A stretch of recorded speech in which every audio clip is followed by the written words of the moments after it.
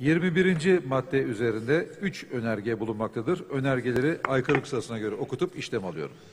Türkiye Büyük Millet Meclisi Başkanlığına görüşülmekte olan 102 sıra sayılı kanun teklifinin 21. maddesinin kanun teklifi metninden çıkarılmasını arz ve teklif ederiz.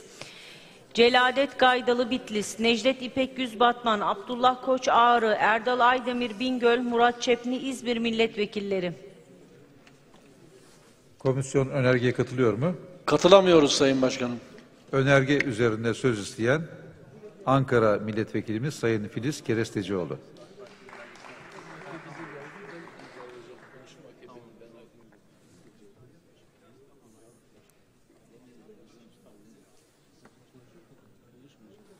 Süremiz 5 dakika Sayın Kerestecioğlu.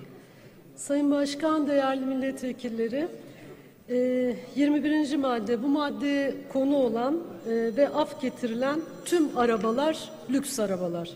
Tıpkı e, geçen de konuştuğumuz gibi varlık barışı maddesinde olduğu gibi yine zenginden yana ve kaçakçılıkla e, mücadele edelim derken aslında usulsüzce araç getiren ve satın alan herkesi iyi niyetli üçüncü kişi sayarak sübjektif bir değerlendirmeyle affeden bir kanun maddesiyle karşı karşıyayız.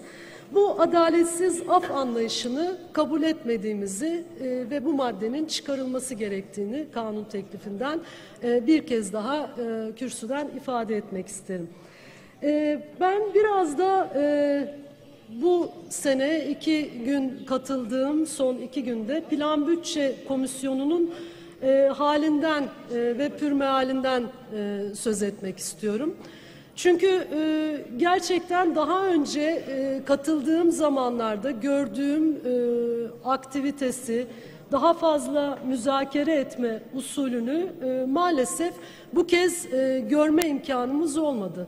Ve e, ben orada konuşulan çoğu şeyin de e, dinlendiğini, kulak verildiğini de düşünmüyorum.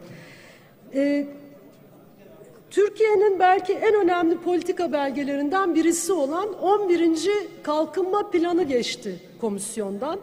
Ama e, hakikaten e, o kadar önemli bir belge geçerken ona gereken önem verildi mi? Hayır. Bir kere e, ne sendikalar vardı, ne kadın örgütleri vardı, müzakere eden ve görüşlerini ifade eden. Dendi ki 3 yıl önce zaten görüşlerini ifade ettiler. Üç yılda dünya değişti arkadaşlar. Üç yılda Türkiye'nin halinde çok şey değişti ve gerçekten özellikle kadınlar açısından baktığım zaman e, ciddi müdahaleler, ciddi e, kazanımlarımıza karşı saldırılar var. Bugün kadın örgütleri yine ayakta ve isyan ediyorlar.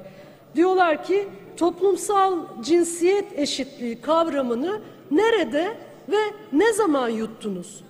Niye bunu çıkardınız?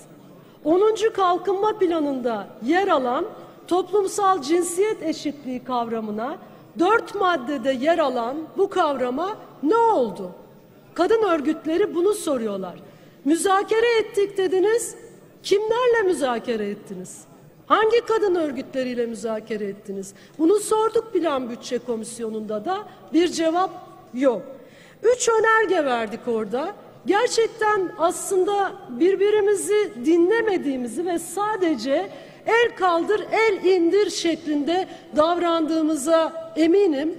Çünkü bu maddelerden, bu önergelerden bir tanesi örneğin e, 602'ye 3'te bu kalkınma planında kadınlara sağlık, medya ve dijital okur yazarlık eğitimi verilmesi öngörülüyor. Gayet güzel bir şey. Evet, sağlıkla ilgili okur yazarlığı olsun, medya okur yazarlığı olsun, dijital okur yazarlık olsun. Biz buna bir ek yapalım dedik. Dedik ki kadınlar haklarını bilmek istiyorlar. Haklarını bilmek gerçekten güven veren bir şey ve onları daha güvenle geleceklerini kurabilmeleri için donatan bir şey. Bunun için kadınların haklarını bilebilmeleri için kalkın bu medya, sağlık ve dijital okuryazarlığa Bir de yasal okur yazarlık ekleyin dedik. Kadınlar haklarını öğrenebilsinler. Bunun bilinirliğini artıralım dedik. Reddedildi bu önerge. Neden reddedilir böyle bir önerge arkadaşlar? Daha önce tıpkı Rabia Naz Araştırma Komisyonu'nu reddettiğiniz gibi mi? Sırf biz verdik diye mi bu önergeyi? Ve gerçekten ben bu meclisteki kadınlara da sesleniyorum. Kadınlardan yana olun ve kadınlardan yana söz söylendiği zaman, önerge verildiği zaman dayanışma içinde olalım. Çünkü bir gün şiddete uğradığınızda o şiddete karşı duracak olan sokakta da olsa, mecliste de olsa, nerede olursa olsun bizleriz. Bu yüzden İstanbul Sözleşmesi'ni yedirmeyelim arkadaşlar. İstanbul Sözleşmesi'ni biz imzaladık diye övünüyoruz. İstanbul'da imzalandı diye övünüyoruz. İlk imzacısıyız diye övünüyoruz. Evet, güzel bir şey. Kadınların mücadelesi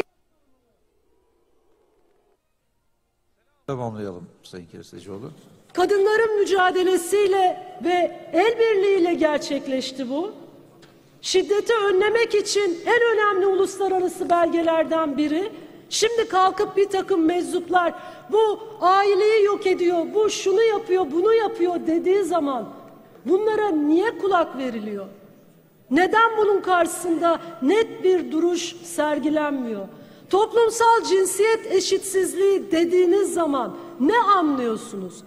Eşitsizlik hayatın her alanında. Nasıl şu meclis erkeklerle doluysa, nasıl eğitimde, yöneticilikte her alanda daha fazla erkekler varsa ve kadınlar düşük ücretlerle çalışıyorsa, OECD raporuna baktığımız zaman Türkiye kadın erkek eşitliği konusunda 149 ülke arasında 130. sıradaysa işte bunun adına toplumsal cinsiyet eşitsizliği denir. Bu kadar basit. Bunu çıkaracak bir şey yok. Bunu kadınlara seslenerek söylüyorum. Erkeklere değil. Önergeyi oylarınıza sunuyorum. Kabul edenler, kabul etmeyenler önerge kabul edilmemiştir.